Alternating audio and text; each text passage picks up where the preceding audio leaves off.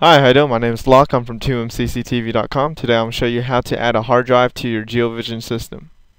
Now, when you first install your GeoVision system, it mainly it makes your C drive the main path to store all the videos. I highly don't recommend that. I recommend that someone uh, add another hard drive and store all the videos to there.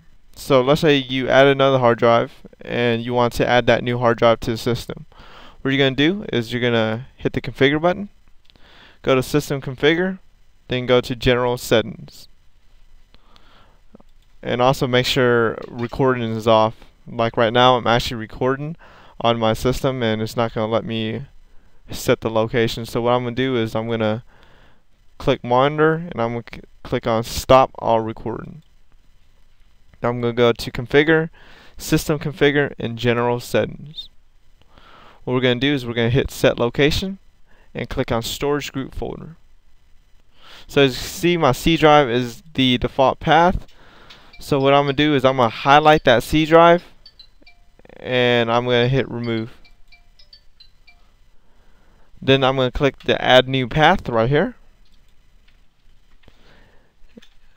and I'm going to choose the different storage path. So what we're to do is choose the second hard drive I added. Mine's the E drive, yours might be different. And uh, as you can see, once I choose the E drive, it's not going to let me click OK. What I have to do is I have to create another folder within that hard drive. Then it will let me add the folder. So for uh, for example, I create a folder called recorded video. So I'm just going to highlight that. Now it lets me click OK. And as, as you can see, it added the hard drive to my recording path. So now I just have to hit OK and hit OK right here to save it. And that's basically how you add another hard drive to your GeoVision system. Make sure you check out other videos on our YouTube channel and visit our website at www.2mcctv.com.